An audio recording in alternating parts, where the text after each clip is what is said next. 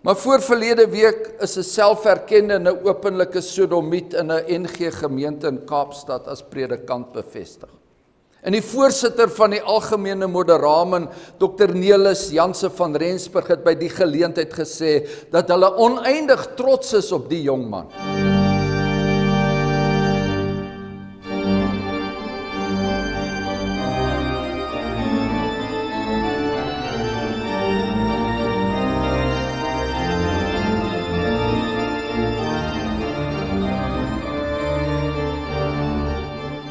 Onse Vader wat in die hemel is, skepper van alles wat gemaak is.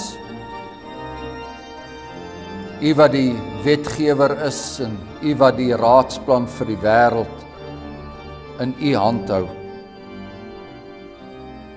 U volk is weer voor u vergader hierso vanoggend maar ook die wêreld oor.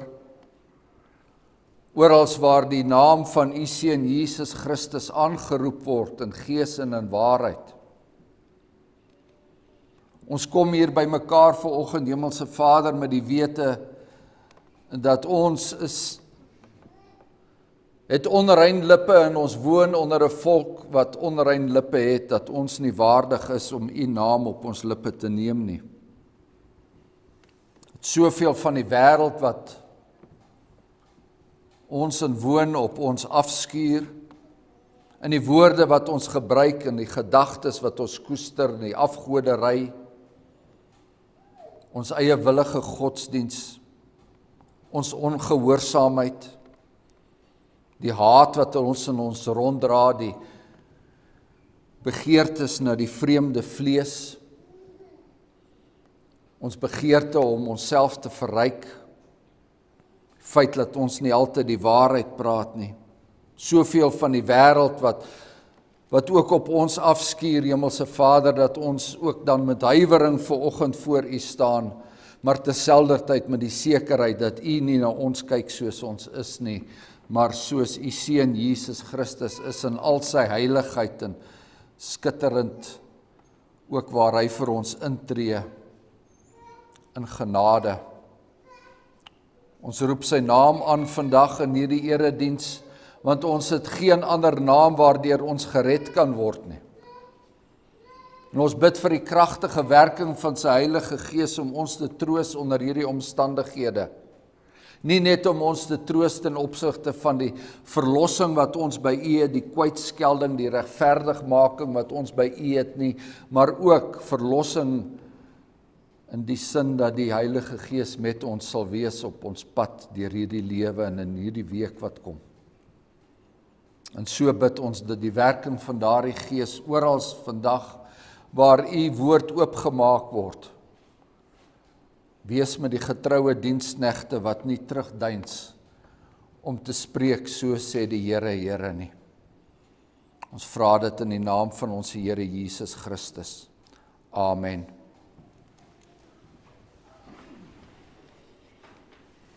Twee skrifgedeeltes uit die Nuwe Testament die een die apostel Paulus se brief aan die Romeine en dan die tweede brief van die apostel Petrus. Daar sal ons uit die tweede hoofstuk lees.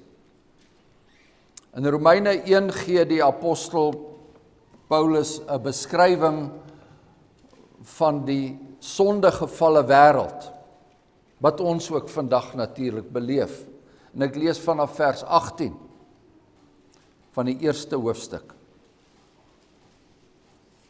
Want die toren van God word van die hemel af geopenbaar oor al die goddeloosheid en ongeregtigheid van die mense wat in ongeregtigheid die waarheid onderdruk.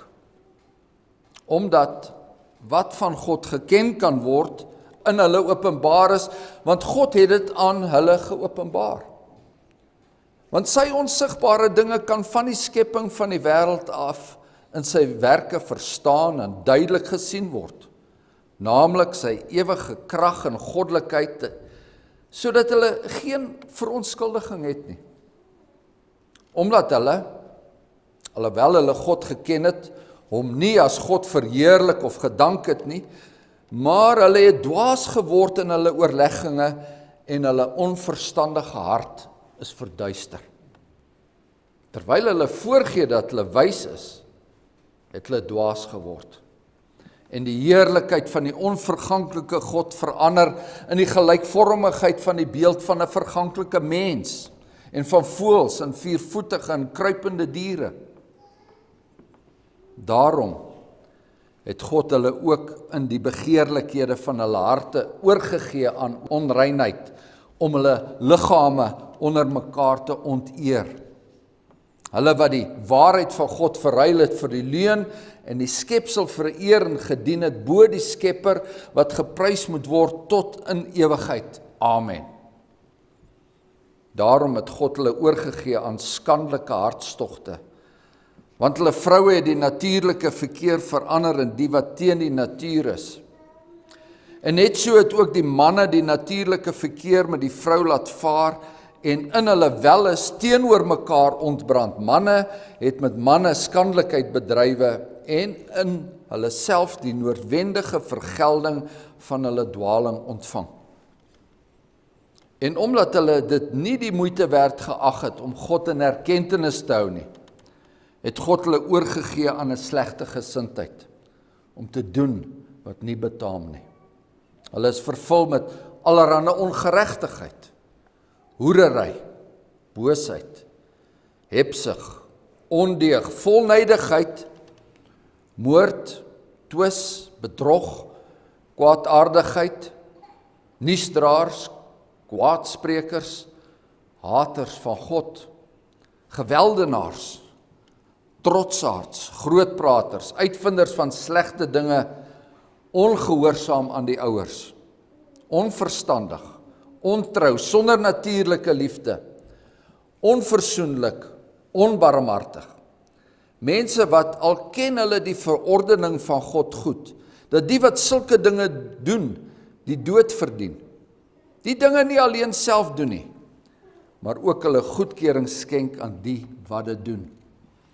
En nou blaai ons na die brief, die tweede brief van die apostel Petrus, die tweede hoofstuk. Die opskrif daarso is valse profete en leraars. Ek gaan die eerste 2 verse lees en dan weer vanaf vers 17. Die eerste 2 verse skep 'n algemene inleiding. Maar daar was ook valse profete onder die volk net soos daar onder julle valse leraars sal wees wat verderflike ketterye heimlik sal invoer en ook die Here wat hulle gekoop het verloon en 'n vinnige verderf oor hulle self bring. En baie sal hulle verderflikhede navolg en om hulle ontwil sal die weg van die waarheid gelaster word. En dan vanaf vers 17 Hulle is waterlose fonteine, miswolke voortgedrywe deur 'n stormwind vir wie die donkerheid van die duisternis vir ewig bewaar word. Want deur trotse woorde vol onsin uit te spreek, verlok hulle deur begeerlikhede van die vlees en ongebondenheid die wat waarlik die mense ontvlug het wat in dwaaling wandel. Hulle beloof vryheid aan hulle terwyl hulle self slawe van die verdorwenheid is. Want waar 'n mens deur oorwin is, daarvan het hy ook 'n slaaf geword. Want as hulle nadat hulle deur die kennis van die Here en Saligmaker Jesus Christus die besmettinge van die wêreld ontvlug het, hulle tog weer deur hierdie dinge laat verstrik en oorwin word, dan het vir hulle die laaste erger geword as die eerste. Want dit sou vir hulle beter wees as hulle die weg van die geregtigheid nie geken het nie, as dat hulle nadat hulle dit leer ken het, hulle afkeer van die heilige gebod wat aan hulle oorgelewer is. Maar oor hulle het gekom wat die ware spreekwoord sê, die hond het omgedraai na sy eie uitbraaksel en die gewaste sog om in die modder te rol. Dit is die woord van die Here en ons lees tot sover daaruit. 2 Petrus 2 die 20ste vers as hulle nadat hulle deur die kennis van die Here en saligmaker Jesus Christus die besmettinge van die wêreld ontvlug het hulle tog weer deur hierdie dinge laat verstrik en oorwin word dan het vir hulle die laaste erger geword as die eerste. Geliefdes,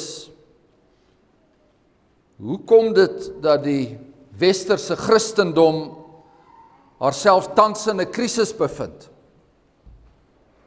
Nie 'n krisis van vervolging nie, was dit maar eerder dit. Nie 'n krisis van 'n gebrek aan Bybels nie, want ons westerse beskawing samelewing het nou al vir eeue lank nie meer 'n probleem daarmee nie. Maar 'n moreel sedelike krisis. Ek verwys na die moras waarin ons ons bevind. 'n Seksuele moras. Die hele westerse samelewing het daarin vasgeval, meegehelp deur 'n stortvloed van reklame, reklame wat die hoerlewe reklameer tydskrifte soos Huisgenoot, films en televisieprogramme, helde en heldinne van die popmusiek. Ek wil nie eers probeer om alles op te noem nie, dis 'n seksuele moras. En oral lê die lyke van die verrotte huwelike. Ouerlyke, kinderlyke. Oral's die bleek siele wat hulle self nie meer kan verhelp nie. Buiteegtelikheid het die norm geword. Die moeras bestaan is al wat hulle ken. En die Christendom self kan nie daaruit loskom nie. Daar's kerkverbande wat besig is om daaraan te versink. Die Rooms-Katolieke Kerk wêreldwyd styer van die een skandaal na die ander van priesters en kerkleiers wat hulle self aan jong seuns vergryp het. Maar voor verlede week is 'n selferkende en 'n openlike sodomiet in 'n NG gemeente in Kaapstad as predikant bevestig. En die voorsitter van die algemene moderamen, Dr Nelis Janse van Rensburg het by die geleentheid gesê dat hulle oneindig trots is op die jong man. Die afgelope Vrydag word dit die aanvaarding van hierdie praktyk deur die Hooggeregshof op alle NG kerke afgedwing. In ons eie gereformeerde kerkverband want baie kerkrade in ons eie kerkverband het nou al opgegee om uit die dryfsand van die talle talle oortredings van die sewende gebod te probeer kom. En ouers kyk nou maar toe hoe hulle kinders in 'n staat van hoerery verval. Sommige probeer selfs om dit goed te praat. Hoekom is dit so? Hoekom hoe het dit gekom dat ons in hierdie toestand beland het? Hoe het dit gebeur dat Petrus se woorde vir ons, ons wat afstam van 'n stoere, vrome, gereformeerde voorgeslag, hoe het dit gebeur dat Petrus se woorde vir ons waar geword het? Dat nadat hulle deur die kennis van die Here en die saligmaker Jesus Christus die besmettinge van die wêreld ontvlug het, hulle tog weer deur hierdie dinge laat verstrik geraak het en dat daai dinge hulle weer oorwin het en dat die laaste nou vir hulle erger geword het as die eerste. Die besmettinge van die wêreld. Dit word in Romeine 1 vir ons meesterlik opgesom die besmettinge van die wêreld en wat die oorsaak daarvan is.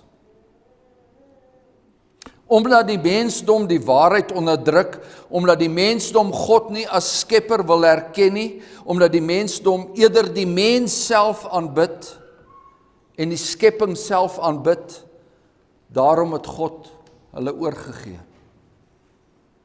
Hulle die heerlikheid van die onverganklike God verander, hulle dit verander in die gelykvormigheid van die beeld van 'n verganklike mens en van voëls en viervoetige en kruipende diere. Dis die stempel van die heidendom. Mensaanbidding, natuuraanbidding, die aanbidding van Moeder Aarde. En in die praktyk manifesteer dit in heksery en towery en die ritmiese dansery aangevuur deur die tromme van die hel. Mense wat hulle eie vlees laat prik en met gedrogte laat tatoeëer. Mense wat hulle vlees perforeer en dan soms ook bering ook. Hoe word die toorn van God oor hierdie mensdom openbaar, hierdie mense wat die waarheid onderdruk? God gee hulle oor. So sê die apostel Paulus, God gee hulle oor aan die gevolge van hulle sonde. Dis asof die Here sê, as julle die natuur wil aanbid, as julle diere wil aanbid, dan sal ek julle toelaat om minder as diere te word.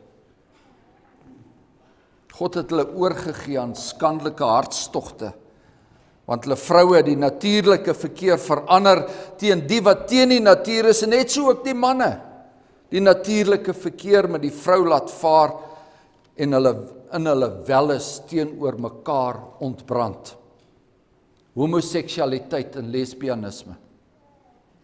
Dis die skandelike hartstogte wat eerste genoem word Maar daar's nog 'n hele rits ander sondes, misdrywe wat ons tyd baie sterk van getuig, die ongeregtigheid, die hoerery, die boosheid, die hebsug, die ondeug, die nydigheid, die moord, die twis, die bedrog, die kwaadsprekery, die geweld, die grootpratery, die ongehoorsaamheid en so meer. God gee hulle oor. En hier is dit belangrik dat ons moet opmerk dat die skrif vir ons dus 'n baie duidelike oorsprong vir die verskynsel van homoseksualiteit gee. Dit kom eersins nie vanuit 'n gebrekkige opvoeding of 'n afwesige pa nie. Die oorsprong lê nie in die menslike kromosome nie. Dis nie 'n toevallige oriëntasie nie. Die oorsprong van die verskynsel van homoseksualiteit moet eerstens by die almagtige God gesoek word. 'n God wat 'n samelewing daaraan oorgee. Omdat daardie samelewing hom nie as skepper wil erken nie. En Paulus skryf hierdie brief aan die Romeine in die 1ste eeu en hy beskryf die Grieks-Romeinse samelewing van sy tyd.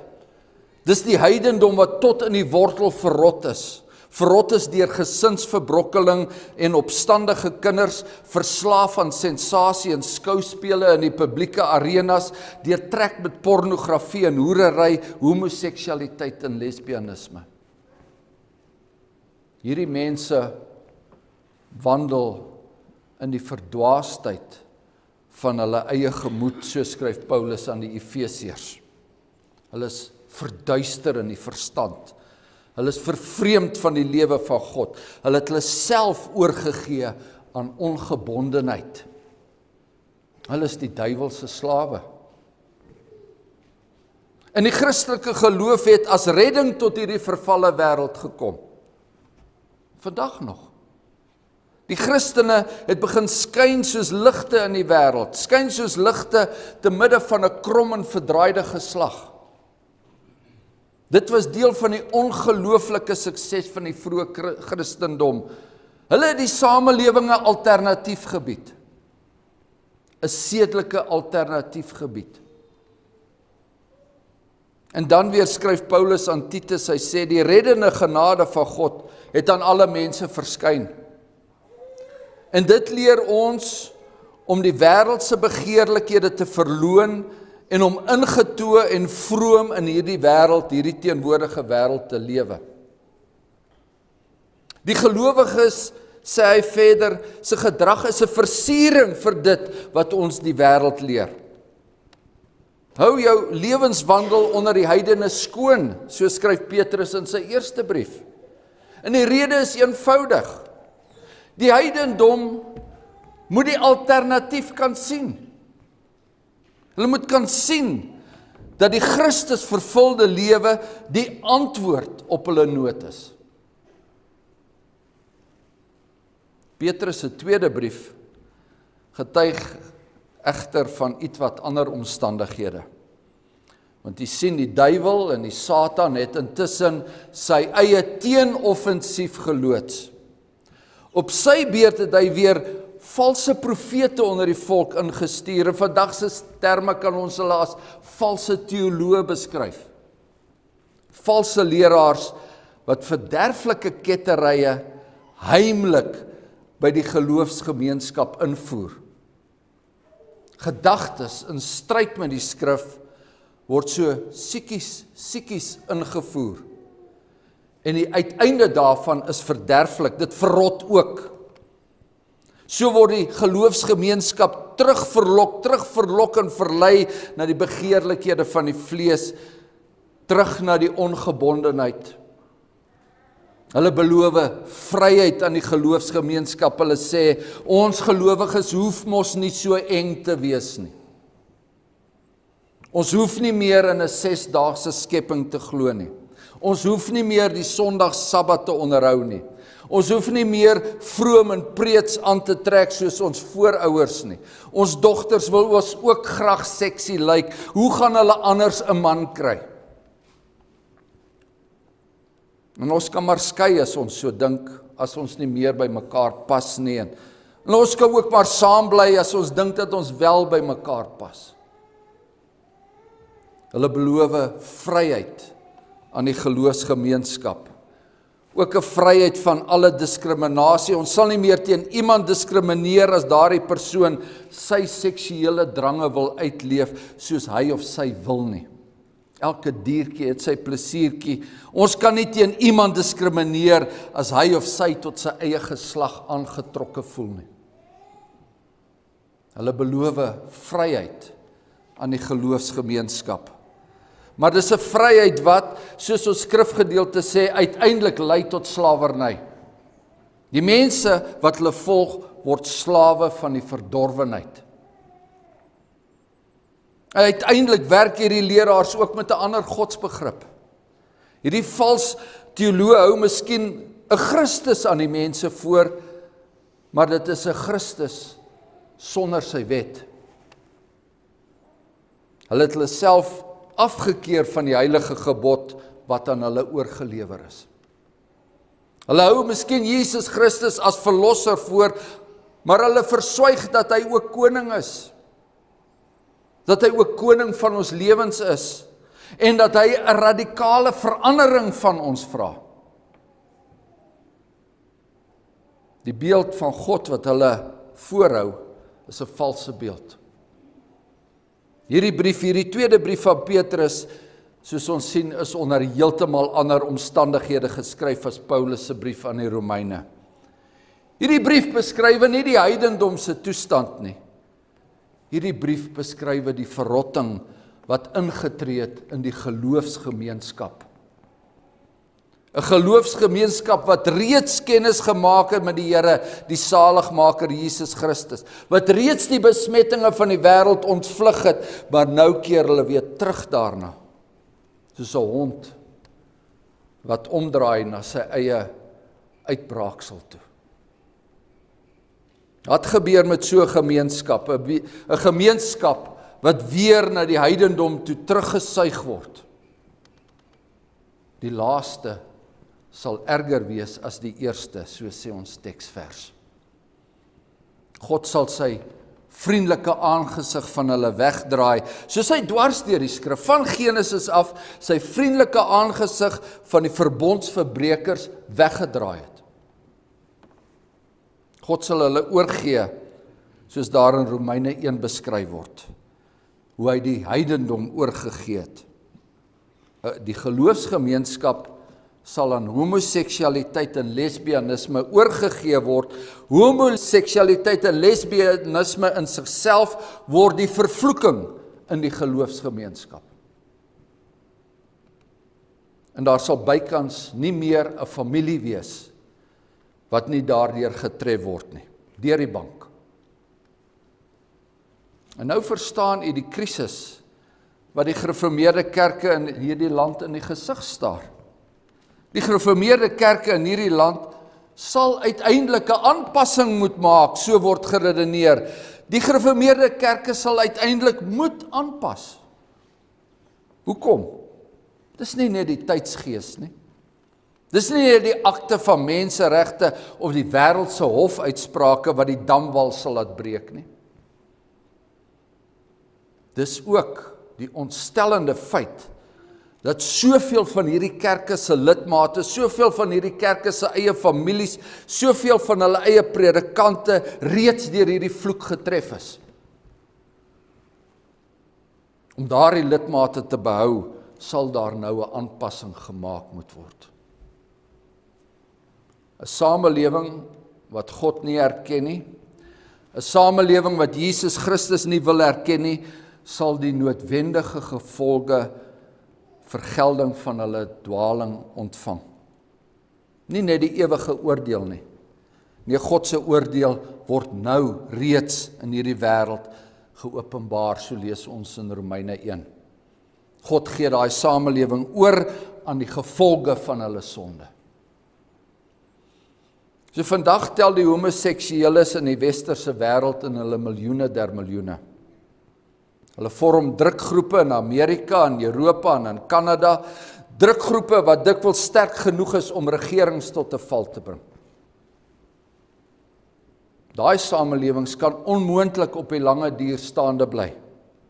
Maar net soos die Grieks-Romeinse samelewing in Paulus se tyd uiteindelik opgevrot het, so is hulle besig om op te vrot.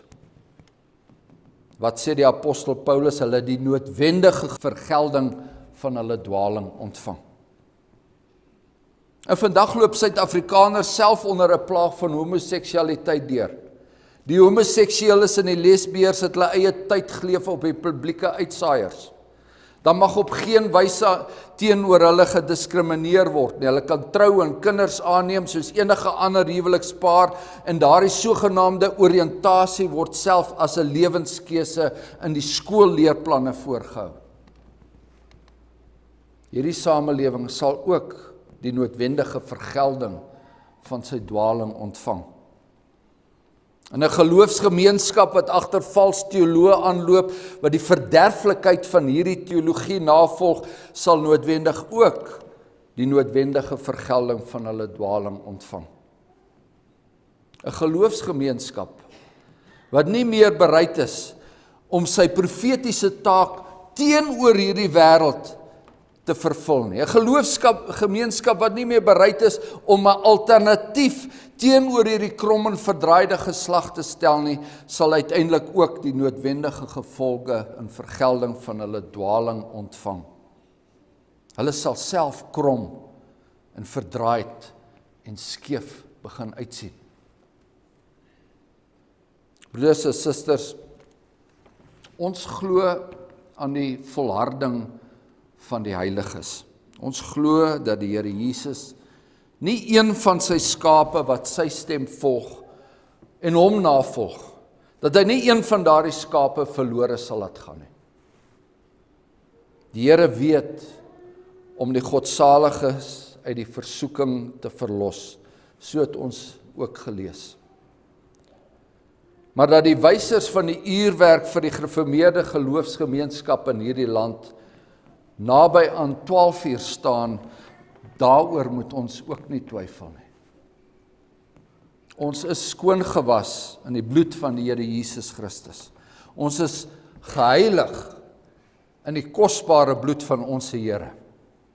Laat ons dan soos geheiligdes leef. Amen. Kom laat ons staan.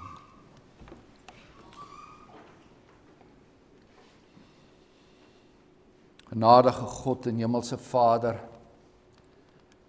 en soos u woord verkondig het word, wil ons almal in hierdie gemeente en in elke ander gemeente wil ons aan u opdra.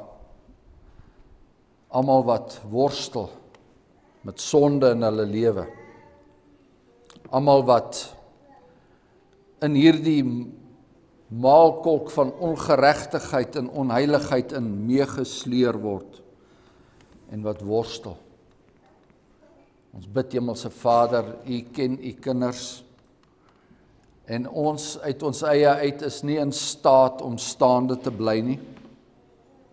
Maar ons vra U in die naam van ons Here Jesus Christus dat U ons genade sal aansien dat U ons lamknieë weer sterk sal maak. Dat U ons ru wat geen ruggraat het nie weer ruggraat sal gee. Dat U predikers sal opwek wat in hierdie tyd onomwonde die waarheid sê sonder verskoning. Ons bid dit Hemelse Vader met die wete dat ons oneindig baie geduld van U ontvang in die naam van ons Here Jesus Christus. Amen.